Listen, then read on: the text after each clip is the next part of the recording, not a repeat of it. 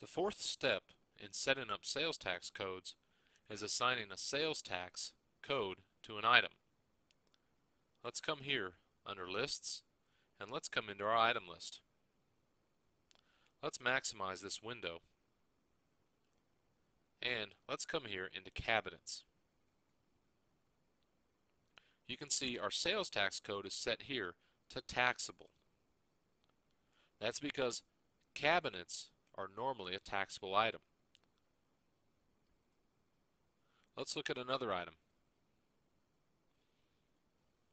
Let's come up here under framing labor. In most states, labor is non-taxable.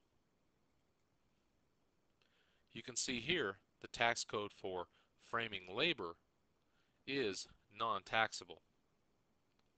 Check with your state or your CPA regarding taxable and non-taxable items.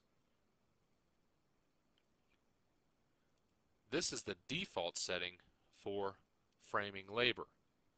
When we invoice any particular item within QuickBooks, we can always change the taxable or non-taxable setting on the invoice.